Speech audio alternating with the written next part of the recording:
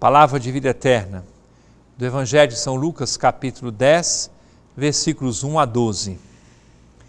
Naquele tempo, o Senhor escolheu outros setenta e dois discípulos e os enviou dois a dois, na sua frente, a toda a cidade e lugar aonde ele próprio devia ir. E dizia-lhes: A messe é grande, mas os trabalhadores são poucos. Por isso, pedi ao dono da messe que mande trabalhadores para a colheita. Eis que vos envio como cordeiros para o meio de lobos. Não leveis bolsa, nem sacola, nem sandálias, e não cumprimenteis ninguém pelo caminho. Em qualquer casa em que entrardes, dizei primeiro a paz esteja nesta casa. Se ali morar um amigo da paz, a vossa paz repousará sobre ele. Se não, ela voltará para vós. Permanecei naquela mesma casa, comei e bebei do que tiverem, porque o trabalhador merece o seu salário. Não passeis de casa em casa.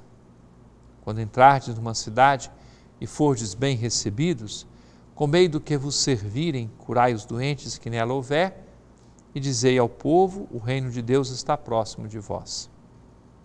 Mas quando entrardes numa cidade e não fordes bem recebidos, saindo pelas ruas, dizei: até a poeira de vossa cidade que se apegou aos nossos pés, sacudimos contra vós.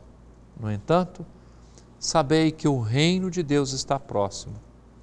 Eu vos digo que naquele dia Sodoma será tratada com menos rigor do que essa cidade.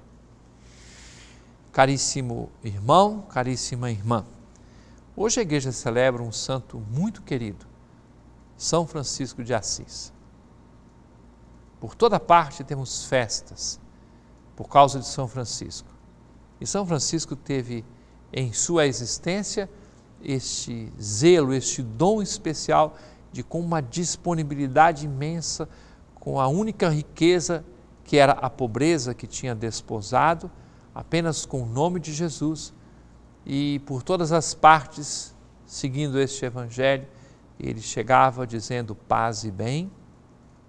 Com esta palavra, ele foi transformando os corações, foi amolecendo todas as resistências, todos os receios das pessoas e acolhendo-o, as pessoas acolhiam a bondade de Deus, o amor de Deus. Ele que saía pelas ruas gritando: O amor não é amado. Aquele que, por ter encontrado nosso Senhor Jesus Cristo, encontrou um jeito novo de entender todas as coisas e ele deixou efetivamente todas as coisas, todos os apoios que poderiam existir em sua vida apenas para servir o seu Senhor e anunciar a boa nova. Vivamos hoje este sermão de missão com todas as suas exigências, contando hoje com o exemplo e a intercessão de São Francisco de Assis. Palavra de vida eterna.